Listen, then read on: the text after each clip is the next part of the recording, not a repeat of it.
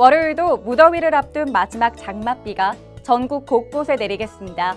대부분의 해상에 낀 짙은 해무도 이어지겠고요.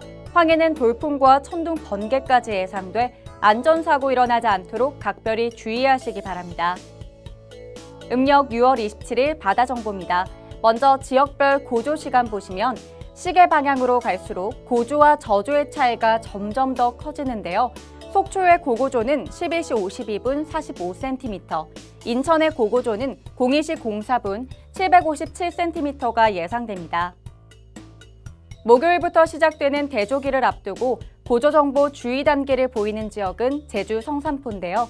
해당 시간 1시간 전후로 침수 피해 입지 않도록 대비 잘 하시기 바랍니다. 물결은 황해가 1.7m, 동해가 1.3m, 남해안 0.9m 이내가 예상됩니다.